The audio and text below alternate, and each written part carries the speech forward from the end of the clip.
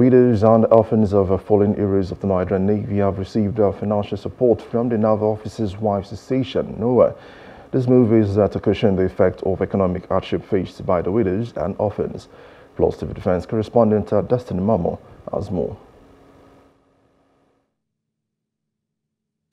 This move by the Naval Officers' Wives Association is a deliberate attempt to bring succor to widows and orphans of fallen heroes.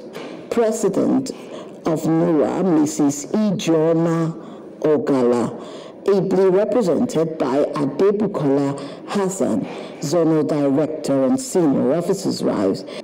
Adebukola Hassan explained the need to put a smile on the faces of the fallen heroes' families this Yuletide. The beneficiaries could not hold their joy. Our special guest of honor, distinguished invited guests, ladies and gentlemen. Maltreatment of widows is unfortunately common in many parts of our dear country. In-laws and communities subject widows to constant physical and emotional abuse.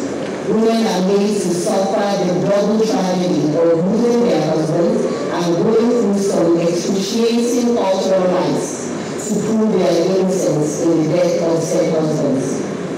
Dealing with the pain of losing loved ones is agonizing enough. Coping with subsequent physical and psychological trauma is simply inhumane. The theme of today's event, Finding Joy Again, resonates deeply with the essence of humanity.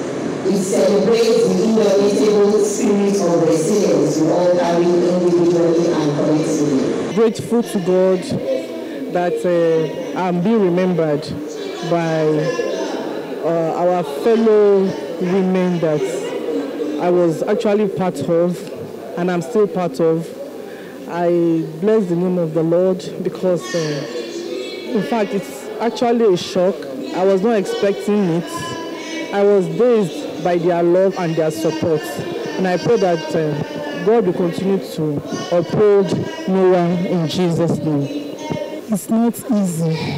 The Naval Officers Wife Association, NOWA, is a great organization thinking for the goodness of their fellow women who lost their husbands in the process. So doing this annually is not easy. We thank the Senate's wife. We thank the commands of uh, the Air Force's wife. We thank the whole NOAA executive for keeping to their promise.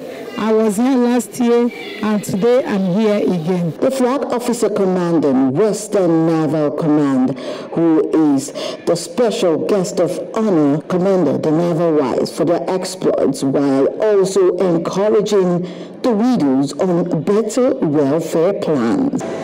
In my modest assessment, NOWA as a non-governmental organization has lived up to my expectations the organization has done excellently in providing the much needed skills acquisition programs to our teaming youth in areas of employment and job opportunities.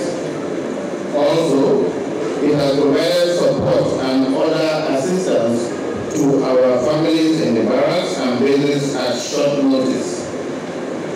On the national scene, NOWA has provided numerous humanitarian to and internally displaced persons. As 2024 approaches, better welfare have been outlined for the less privileged by NOWA.